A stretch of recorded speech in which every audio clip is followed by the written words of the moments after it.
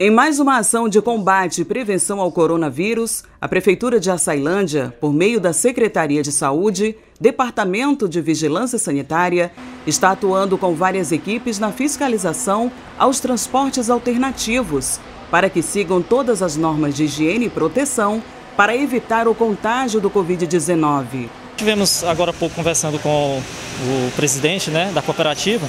A gente está fazendo primeiro essa, essa parte de orientação e também fiscalização, né? A gente teve essa conversa com ele para saber como é que estavam os procedimentos e a gente vai estar fazendo o monitoramento, fiscalizando se realmente está sendo cumpridas as regras né, com base no decreto.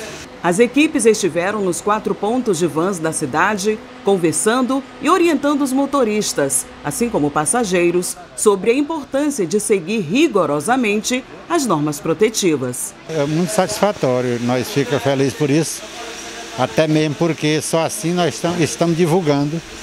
É, é uma prática que nós já vinha fazendo, devido aos avisos em rádio e televisão, e recomendando a cada operador para fazer o, o trabalho, a, a prevenção. A gente sabe que tem resistência por parte de algum passageiro, mas nós fazemos a nossa parte. Prefeitura Municipal de Açailândia, de mãos dadas com você.